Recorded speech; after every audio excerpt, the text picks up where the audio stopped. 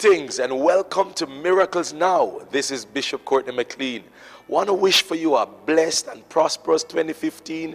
I believe with all my heart that this year is pregnant with breakthroughs. It's pregnant with deliverance. The heavens are literally filled and they are awaiting your prayer, awaiting your fast, awaiting your financial seed. It is your prayer, your fasting, and your seed that will cause the clouds to be filled and then to burst with fresh wine and fresh release from heaven. Listen to me. I know you have been waiting. I know many of you, you have been fasting and you have been giving. But I believe when I examine God's word, it is clear to me that 2015 is the year of deliverance. And if you believe it, if you would raise your expectations, you'd be shocked at what God would do in your life. My God, I'm excited. Now you need to understand that we generally begin our year with 21 days of fast. Starting from the 11th, we will be meeting every night, 7 p.m. And on Saturdays, it will be 6 a.m. We're going to end on the 30th with an all night prayer meeting. You need to record these dates. They're at the bottom of your screen. And I'm pretty, pretty sure that God is just going to bless us in a tremendous way as we position ourselves in prayer in fasting and by releasing our first fruit, God honors sacrifice. Now, let me tell you one of the challenges that I'm having. People are not consistent. If you would be consistent, you would experience God's glory and God's best. The Bible says, The faithful man shall abound with blessings. If you are not abounding with blessings, it is indicative of the fact that you are not yet faithful. Work on your faithfulness, work on your consistency, and you'd be shocked at how God would bless you this year. Again, I say, this is the year of greater glory, and it's pregnant with your miracle, pregnant with your release. Before we go into the day's message, which is the blessing is stronger than the curse, we're going to take a testimony and we're going to also look at upcoming events. I'll be back with you a little bit. Um, we did a first fruit at one point, and my husband and myself, you know, we gave all that we had left. When I mean, when we checked out the amount for the first fruit, it turned out to be all that we would have had, and we gave it. And down in the month when you know we weren't able to purchase our groceries because we gave that first fruit sacrificially. And I mean, I was doing praise and worship, and when I came down the aisle, somebody stopped me and she gave me a note. And when I read it, it said, Write a grocery list of all that you needed. And I was so shocked. But I went through there and I said, Okay, she said a grocery list. But she didn't say meat, so I won't put any meat on the list. And would you believe that when I came back in church, the person came back to me and, and, and whispered in my ears, and the meat that you need as well. I, I was just so taken up. I mean, God is just an awesome God. And when you when you give to God, He is no man's debtor. I'm telling you that He is gonna give back to you. For 21 days of fasting begins on the 9th of January and goes right through to the 30th with an all-night prayer meeting on the 30th. You need to mark this in your calendar because we will be meeting every single night for 21 days. Oh my God, I feel it already. And our annual debt burning service will be February the 1st. Mighty God of Daniel, Jesus have mercy. The testimonies have been coming in. And I'm telling you, it's your time to testify because God is going to meet you at your point of need.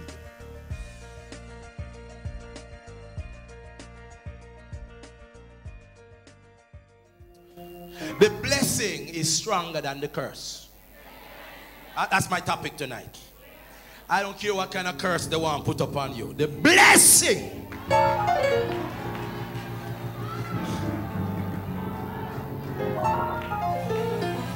Jesus have mercy. I don't care who try obey you. The blessing. I don't care who want bad mind you. The blessing I don't care if your entire family curse. The blessing is stronger than the curse. Lift your hand and praise God tonight. Now let me bring it down a little bit. Because in Romans chapter 9 and verse 13, we see the Lord speaking. And he said, Jacob have I loved, but Esau have I hated. So this not sound right. It's my year of double favor. And, and I'm reading some scriptures I mean I understand. Can't just pick out one part and just, mm, no, no. I've got to look at the whole thing. He said, Jacob have I loved and Esau have I hated. In 1 Samuel 2, from 27 through to 36, we see where the Lord accepted Samuel but rejected Eli. I'm saying, no, man. Why is it that some people are accepted and some people are rejected? Why is it that we, we, we are speaking and declaring, no, this is the year of double favor? And why is it that even though some people speak it and they declare it, they might not necessarily walk in it?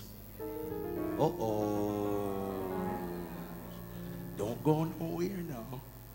Stay with me. Say amen. In Philippians chapter 4 and verse 18 to 19, my God shall supply all my needs according to his riches. Why did he say to the Philippian church and not the church in Galatia or Corinth? Why? Why, why, why did he say it? Seems as if God is partial. Why is this church doing well and another church is suffering and can't break through? God partial, eh? God prefer us above every other church. Why is it that some people struggle right through life and never break through?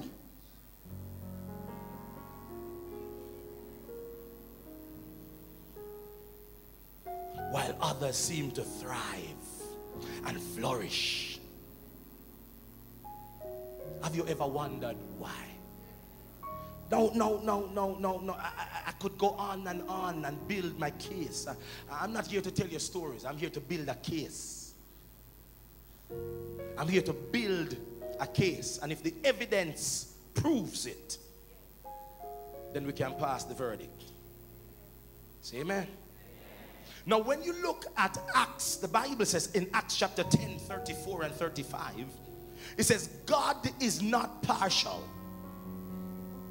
but in every nation. So some people say you're preaching an American prosperity gospel. God is not partial, but in every nation. Come on, somebody. I said, come on, somebody. I'm reading this book entitled Out of Africa and some of the mega churches are being built in Africa right now as they embrace principles of God's word. It doesn't matter where you are, the word works if you work it. Come on, somebody, you could be in Haiti. I said, when God bless you, you're blessed. Oh, Jesus, once the spirit and the anointing of Joseph is upon you, it doesn't matter where you are, it doesn't matter where they put you, you are going to flourish, you are going to prosper. They can't stop you because if God before you. Oh, help me praise God a little bit. Somebody lift up your voice and help me praise God a little bit. So it says, God is not partial, but in every nation, the man that fears him and works righteousness is what? Acceptable to him. So God will accept the man that fears him and works. I could work this in a man, I could work this. And works righteousness. Bible says he has distributed to the poor. Corinthians. Ah, Jesus have mercy. Your righteousness endureth forever. Works righteousness. Cornelius was a man who prayed. Cornelius was a man who fasted. And Cornelius was a man who gave to God's people.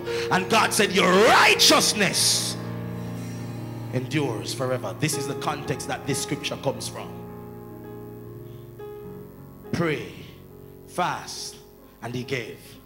And the favor hit his life. Somebody say, Amen. Join Bishop Courtney McLean at Central Tabernacle Deliverance Center for three powerful nights, January 5th, 6th, and 7th, 2015 at 7 p.m. nightly. Central Tabernacle Deliverance Center, 91 Great Georges Street, Savlamar, Westmoreland. The Cross Country Revival 2015 is here. It begins at the Jamaica Evangelistic Center 86E Walton Park Road, Kingston, Jamaica, with Bishop Courtney McLean and Dr. V.T. Williams. The dates are from January 18 to the 21st, 2015 at 7 p.m. nightly. The Bible says, when the Son of God returns, will he find faith in the earth? Will you keep believing God? Will you keep pressing in for greater levels and dimensions of glory? Or will you faint and lose heart? If you are one of those who are still believing God, you are believing Him for miracles, believing Him for healing, believing Him for the supernatural in your life. I want for you to join me for the first of our service for 2015 this Wednesday. I am believing God that He is going to show up and manifest His glory in our lives. Be seated by 11:45. You don't want to miss it. Now let's look at this man called Jacob.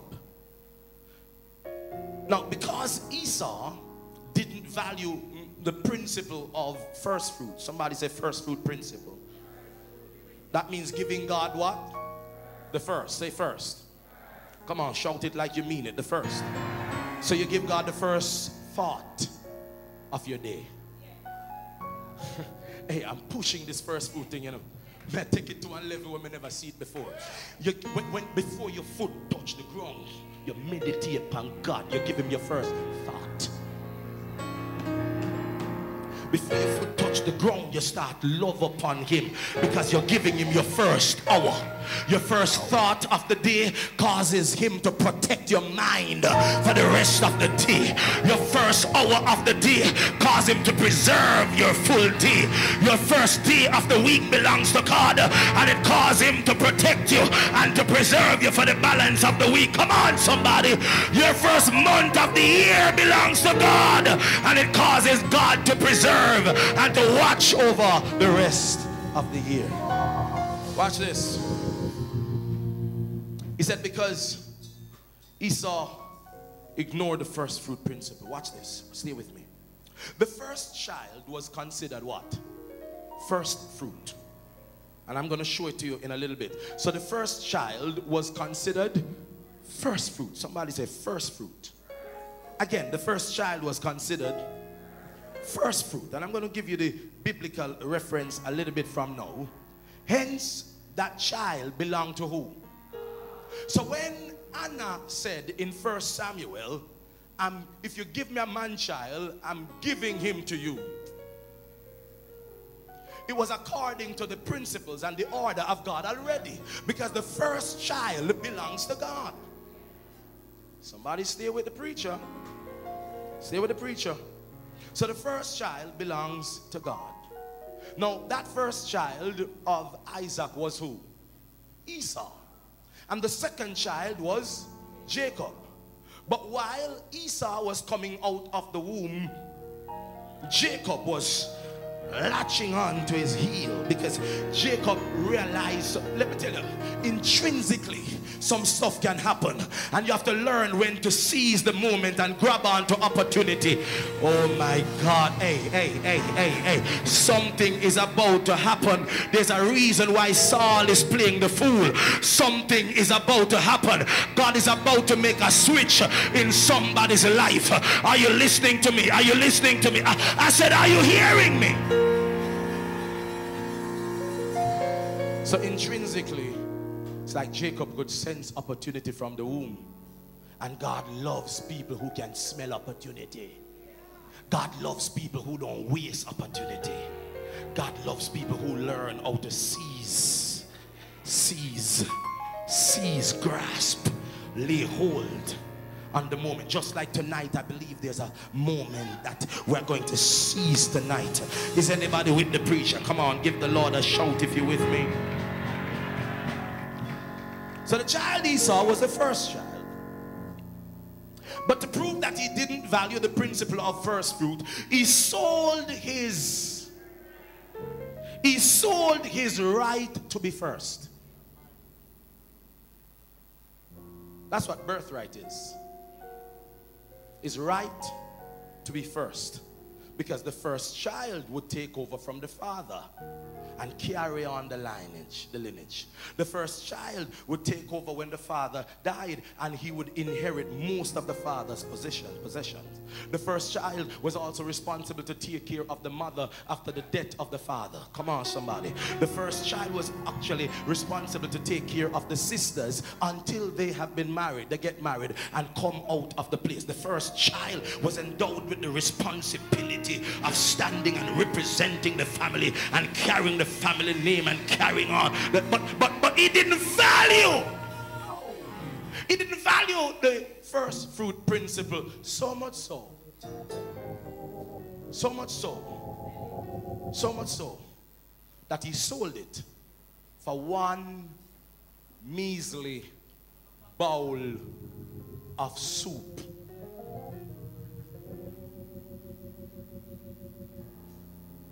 Sold out his birthright for one bowl of soup. God said, I hate that. So there was a switch because Jacob understood the principle of first things. He said, I'm going to give you this soup, but I don't think you deserve it. You really don't understand God. You don't understand biblical principles. And so I'm going to give you the soup if you give me your birthright. Come on, somebody. You might say he was a schemer, he was a general, but God recognized him as one that could smell opportunity and had respect for things that God also had respect for. And God said, No, you are no longer number two, you are no number one. I want to preach to somebody.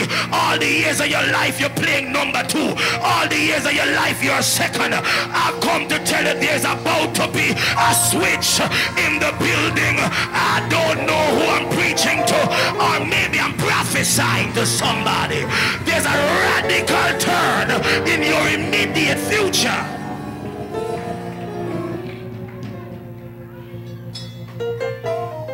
Somebody tell your neighbor you're looking at the new number one. Eh. Now, now, now, why, why did God say to Eli, you honor your sons above me, and Samuel will take over from you? Why? Because Eli refused to stop his sons from taking the first of the sacrifice before it went up to God.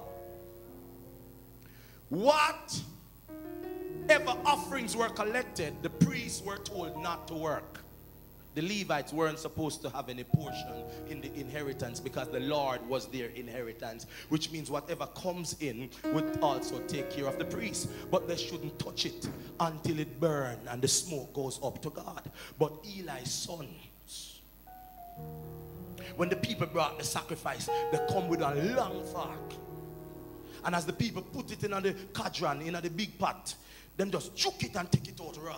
Them just juke it and take it out. The people them say, just wait, no make it cook first, so at least the smoke and the fragrance can go up to God because God now go come down and eat it. But that smoke that goes up to him is a sacrifice that he honors and he accepts. Them say, no, we want it raw. We want it no. And if the people wouldn't give them, then take it by force.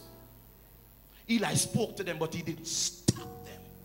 And God said, You, Eli, you put your sons above me. You stop me from getting the first. And because of that, I changed my mind concerning you. I had a prophecy concerning you that you and your sons will be before me forever. But I changed my mind. Jesus have mercy, man. Don't make God change his mind concerning you. I said there are some prophecies over my life and prophecies over your life. And when you release the first today, today, today, all those of you who have released it already, the prophecies will be activated. God said, No, man, I'm not going to change my mind concerning this one because they understand the principle. God said, Eli, I changed my mind concerning you. I'm going to put it upon Samuel because Samuel is the firstborn and Anna sowed her first. Jesus have mercy. And so it leaves one who disrespect the first fruit principle and was now upon one who was himself a first fruit offering. Am I working? I'm working the thing. I'm, I'm, i said I'm working. Somebody telling me about the preacher is working the thing.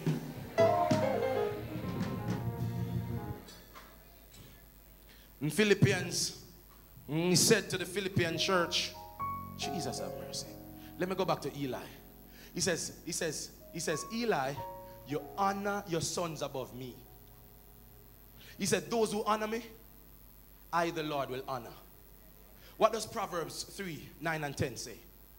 Honor the Lord with thy what? With your substance, not just with your lips. Three quarters of the church love noise, but when it comes to giving, them no one give God nothing. You have to understand that when you release, you're honoring God with your substance. Too many people honor God with their lips, but the heart not with Him. Wherever your money is, that's where your treasure is also. If you put your money in a church, then your heart in a church. If you put your money in a God's work, then your heart is in God's work. Say amen. You cannot pay for a miracle. You cannot pay for a soul. See them guys here, me keep talking about this man. Come here again, man of God. Come here. Half a million dollar surgery he was supposed to do on his back. Came crying in church when we were up by the club. Crying. God spoke to me. I didn't know what was happening to him. And I felt what he was feeling. I called him out. I said, God is healing your back. And I give him one big lick. I'm serious. He fell on his back. That's faith.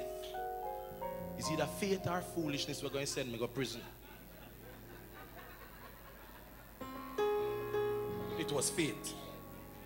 By the following day, he got up, he couldn't find the pain.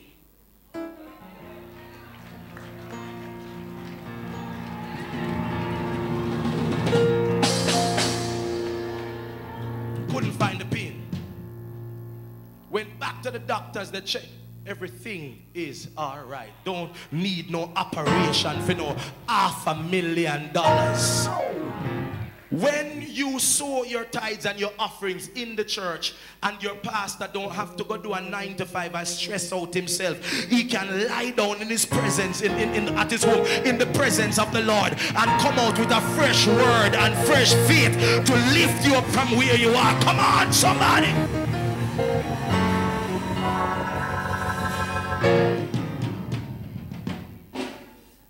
This man, come here, man. They killed his brother. He got saved and shortly after that they killed his brother. He have access to gun. People carrying gun to say,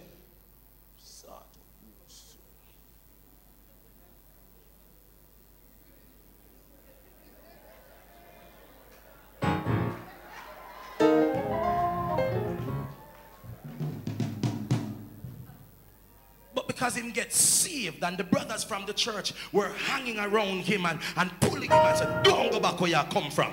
Don't go back into the that where you used to inner. It no worth it, my youth. Remember you have your pitney them for live. Stand up in the thing. Come on. Don't tell me that the church no make no sense. Don't tell me that the church no work.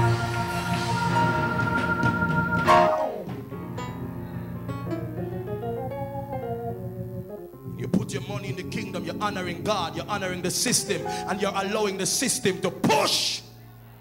You're strengthening the system. More people getting saved, less bloodshed.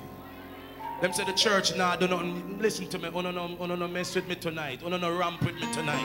The church. If, the church wasn't here, you can imagine how worse it would be. Because I know quite a few gunmen who put on the gun, to somebody and start serve God because of the church. I know quite a few people who still have their two breasts intact and never have to cut it off because of the church. I know quite a few people who didn't have to do the hysterectomy because of the church.